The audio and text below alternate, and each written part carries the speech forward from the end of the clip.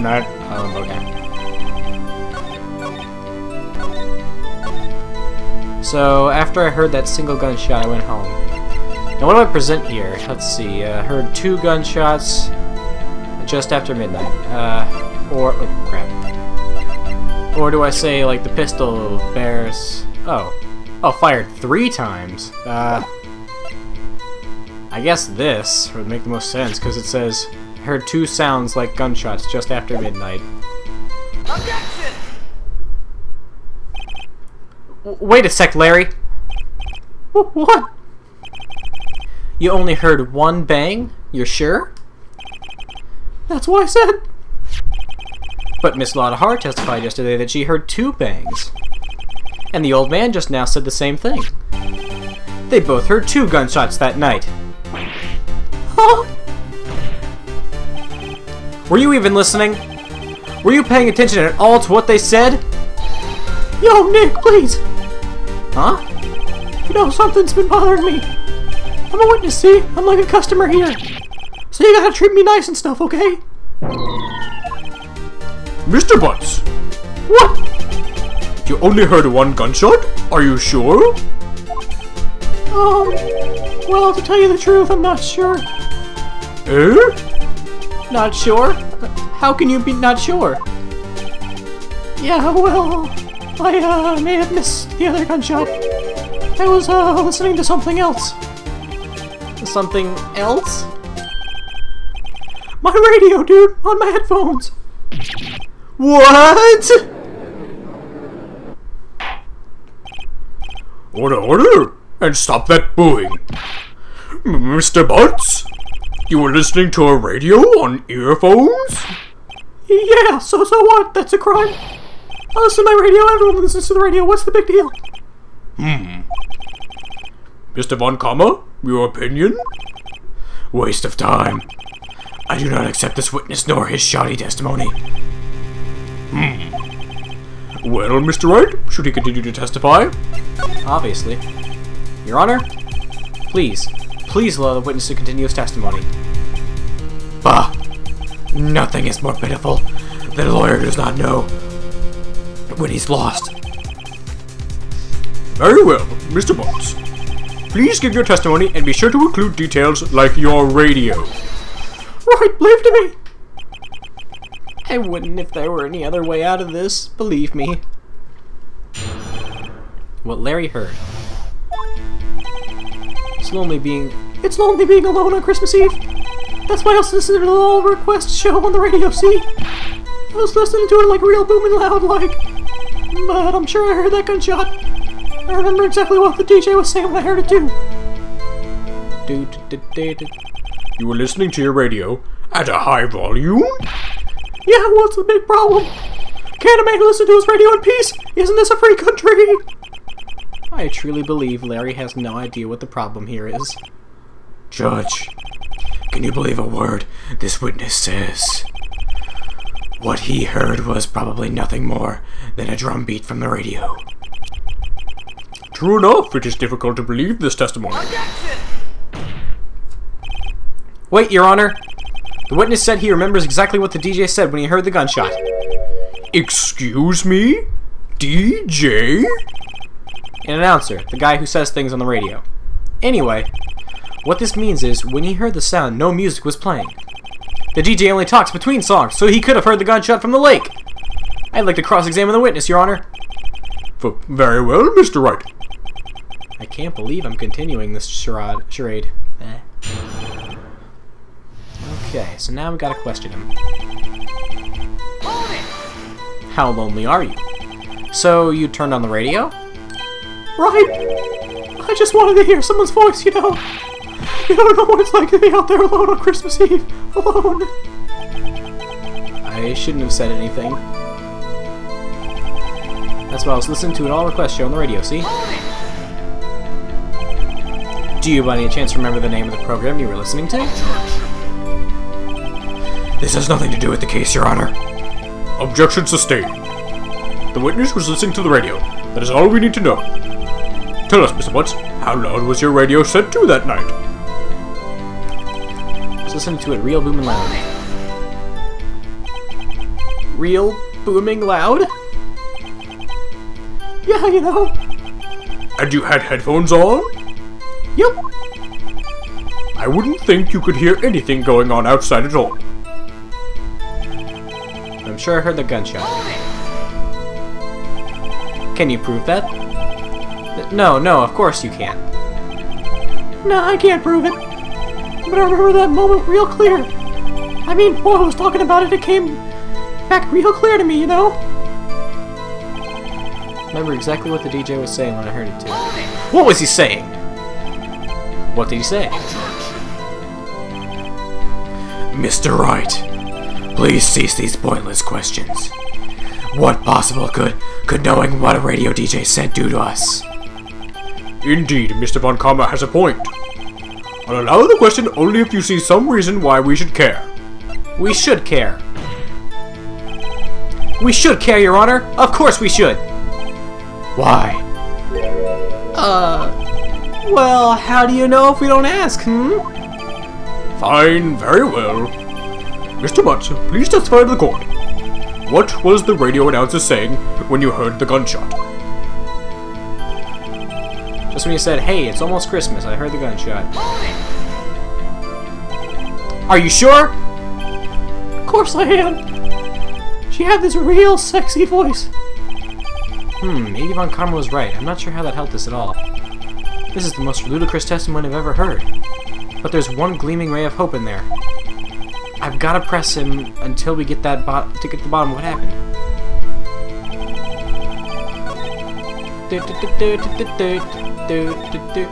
Saying, hey, it's almost Christmas. No, no, no, no, no. Whoops. Let's see, time of death sometime on 24th or 5th. And we know, uh, you know. Okay, heard two gun two sounds like gunshots just after midnight, which would mean that it would be on Christmas Day. What's this DJ saying? Hey, it's almost Christmas. Which means that would be before midnight. Objection! Larry, are you absolutely sure what you're saying is correct? Huh? What's with that face? You look scary, dude. If you're trying to scare me, you'd better know I don't scare that easily. Is something the matter, Mr. Wright? Your Honor? Did you hear what the witness just said? The DJ said, hey, it's almost Christmas, when he heard the gunshot. Indeed, and? Almost Christmas means it wasn't Christmas. Do you realize what this means? When he heard the gunshot, it was still Christmas Eve! That would seem to be the case, yes? But that contradicts the two testimonies we've heard so far, Your Honor. Both Miss Hart and the old man says it was after midnight when they heard the shots. In other words, when they heard the gunshots, it was already Christmas. This is a clear contradiction, Your Honor! Order, order! What does this mean? The two prior witnesses heard gunshots after midnight? However, this witness says he heard a gunshot before midnight. Judge, the answer is simple. The current witness is plainly mistaken. Just look at him. Suspicious. What? Hmm. Well, Mr. Wright? What do you think about Mr. Butt's claim he heard the gunshot? Larry's right. Larry is not mistaken, Your Honor. He heard that gunshot before midnight! Intriguing. I am assuming you have evidence for this wild claim. Show me evidence. There was a gunshot before midnight. Do, do, do, do, Where, where'd it go? Shows an empty lake, taken automatically. Ha ha ha ha. Take that! Look at this photograph. This was taken by our witness yesterday, Miss Lotta Hart, with her automatic camera. The timestamp on the photo reads December 24th, 11.50 p.m. Oh yeah? Hmm. But there's nothing on the lake in this picture. Your Honor, the real issue here is not why nothing is shown in this photograph. It is why this photograph exists at all. What do you mean? Your Honor, this photograph was taken by an automatic camera. That camera was set up to go set off set to go off in response to loud noises. Oh! Correct. There was a loud noise in the lake at 11:50 p.m. That is why this photograph was taken. In other words, when Larry heard that gunshot, it was most definitely Christmas Eve. Indeed, it would seem that that is the case. Then, where does this where does that leave us? Miss Hart testified she heard the gunshots after midnight. Are you claiming she was mistaken? Not at all, Your Honor. It's a fact that the camera also triggered at 15 minutes after midnight. Your Honor, that night there were two sets of gunshots with a 25 minute pause between them.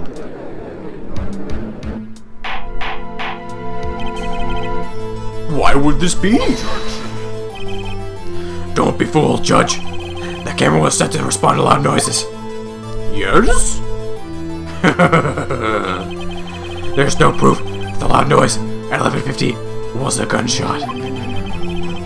Why the witness could have sneezed, triggering the camera. Objection! Oh, Hey, my nose was clear that night, man! Clear! Hmm. Well, Mr. Wright, there's no turning back now. Can you prove that the loud noise at 11.50 was indeed a gunshot? Please show the court evidence if you have any. well, I believe the fact that the gun was fired three times is proof enough. This is my evidence. The murder weapon? Something about this pistol was bothering me, Your Honor. Both of the witnesses who testified yesterday heard two gunshots. However, the murder weapon was fired three times. When, then, was the last shot fired? Only now have I realized the truth.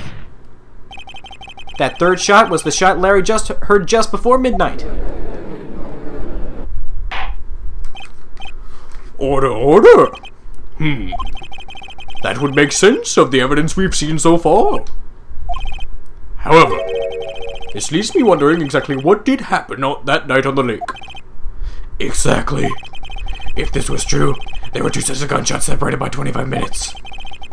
One at 11.50, another at 15 minutes before after midnight. Why, I ask you, why? Uh-oh, I better think of something quick. Wait a second. Gunshot separated by 25 minutes. Ah! What's wrong, Nick?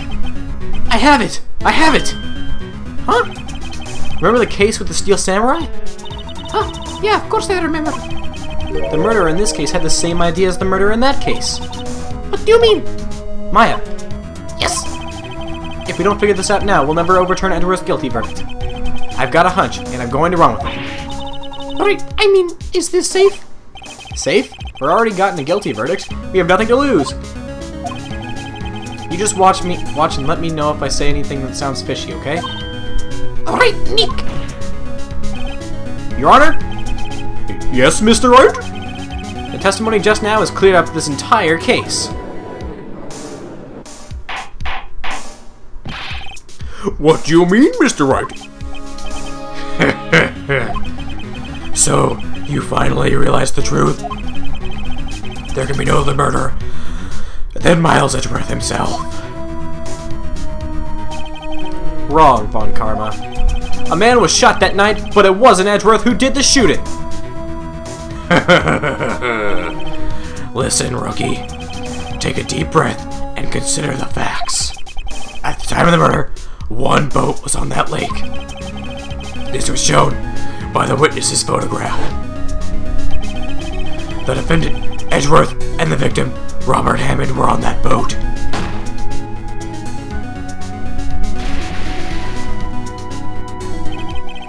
There was a gunshot fired on the boat, and Robert Hammond fell into the lake. The distance of the shooting was one meter. It couldn't have been suicide. Well, the guilty party has to be the other man on the boat. I admit it's hard to imagine any other possibility. Yes. But that assumes the victim was shot 15 minutes after midnight. What do you mean by that, Mr. Wright? We have photographic evidence of the time of the shooting. The timestamp of the photo says 015. but Larry heard a gunshot 25 minutes before that. Robert Hammond was killed then, 25 minutes before the shot on the lake. That's the only way Edgeworth could be innocent. Mr. Wright, are you quite mad? Explain who this is sitting on the boat. The murderer and Hammond, Edgeworth and the murderer, Edgeworth and Hammond. Edgeworth and the murderer.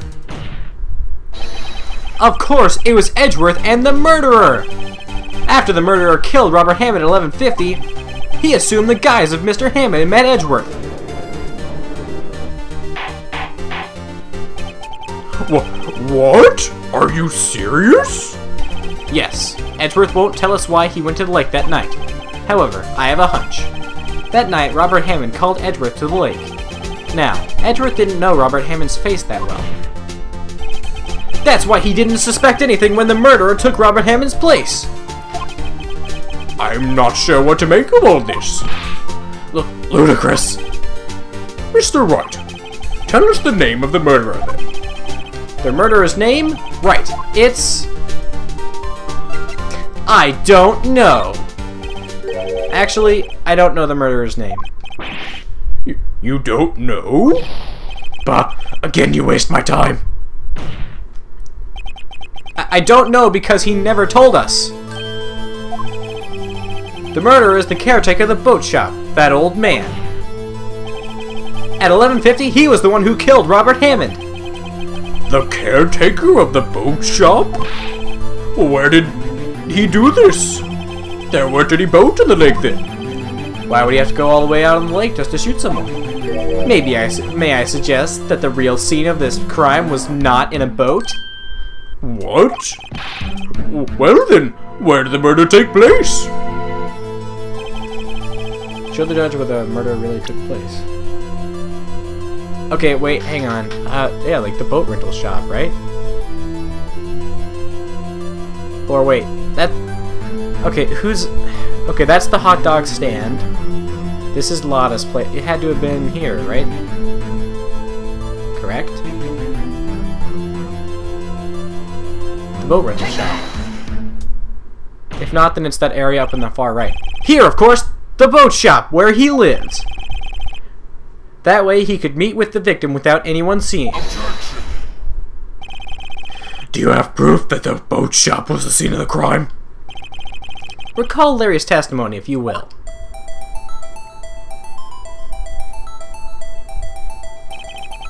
That night, he was out on the lake in a boat, searching for something. He finds it and returns the boat. Then, just as he's starting to head home, he hears a gunshot. He heard a gunshot, Your Honor, even though he was wearing headphones at the time. In other words, the gunshot was very, very close by. And where would that be if he had just returned the boat? The boat shop! Mr. Wright, what happened that night on Gourd Lake? Please tell the court from the beginning.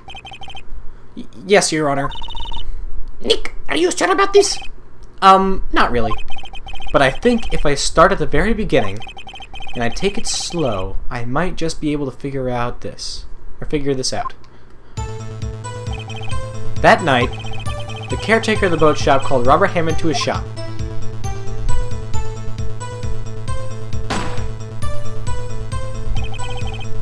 That this was around 1150. That was when the gunshot that Larry heard was fired. After that, the caretaker put Rob on Robert Hammond's coat. He became Robert Hammond. Then he got in the boat with Mist with Edgeworth and went out into the middle of the lake. Then, who fired the pistol on the boat, Mr. Wright? The boat shop missed Miles Edgeworth. Of course, it was the murderer who shot the pistol. He shot twice. Both missed Edgeworth on purpose. Wait a minute. Yes? Why would he shoot twice if he didn't mean to hit anyone? Uh, details, details. Know this, Mr. Wright. The moment you run out of explanations is the moment you lose. Tell us why the... Um, tell us why the murderer had to fire twice. To create a, a witness. I believe he shot twice to create a witness, Your Honor. Create a witness? The murderer lifts his pistol and fires one shot. That ensures that anyone uh, who heard the shot would look at the lake.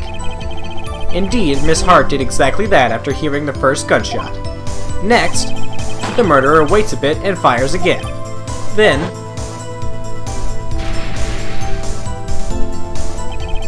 the murderer jumps from the boat himself, leaving the pistol in the boat behind him. I see. To someone looking from the edge of the lake, it would appear that one of the men on the boat had shot the other.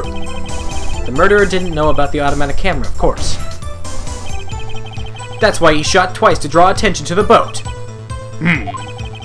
Once you realize that, everything else falls into place. The boat shop caretaker swam back to his shop, then he put Mr. Hammond's wet coat on the body, and threw the body into the lake.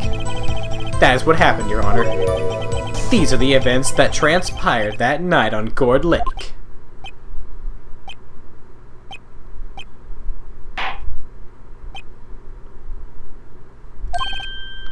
Bailiff, bring out the witness from before. The boat shop caretaker, quickly.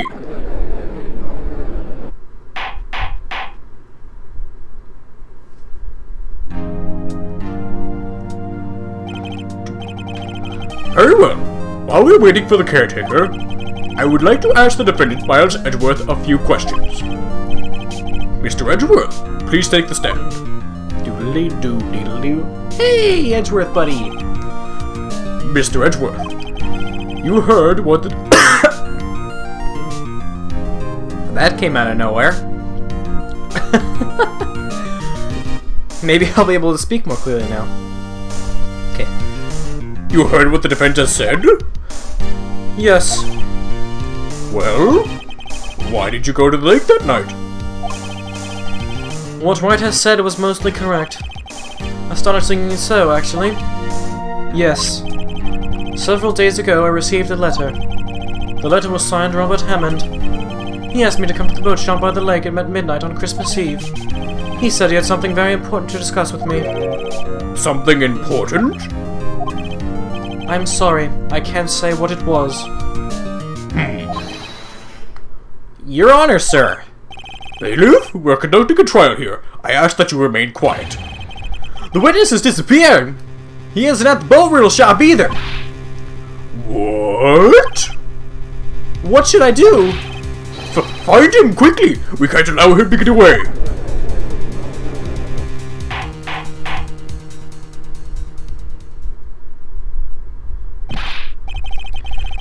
Mr. Von Karma, your witness has disappeared.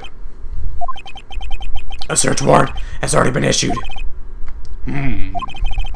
It goes without saying that I can't declare a verdict under these circumstances. I will extend the trial until tomorrow, the final day allowed. I request the police department utilize all its forces to find that witness. Am I understood? One more thing. Just who is that boat shop caretaker? I think his identity has become very important to this trial. I want him, and I want to know who he is. Very well. Court is adjourned. Sweet. Pulled it off, yeah. December 27th.